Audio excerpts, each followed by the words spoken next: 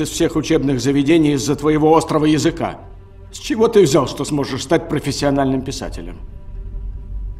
Не знаю. Но я... мне это нравится. я- Он очень талантлив, Сол. И что? Этим невозможно заработать на жизнь. Даже лучшим студентам, а ты и до хорошего не дотягиваешь. Понятно. Я все делаю не так. Сынок, сынок, иди сюда, прости. Присядь. Полную версию смотрите бесплатно на megogo.net.